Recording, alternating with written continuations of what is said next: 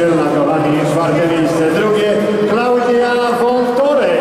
Mamy Klaudię, jest drugie miejsce. Nina Rożniata. No i pierwsze miejsce, kochani, Kamila Czarnecka. Mamy Kamilkę, mamy trzy. Potrzebujemy jeszcze jednej zawodniczki, która zdobyła czwarte miejsce. Kto ma czwarte miejsce, panowie?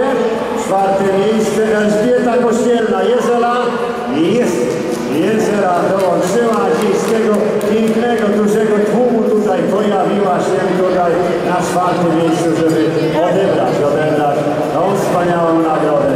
A tą nagrodą jest wspaniały medal i. A teraz gorące brawa, podziękujmy, gorącymi brawami, podziękujmy.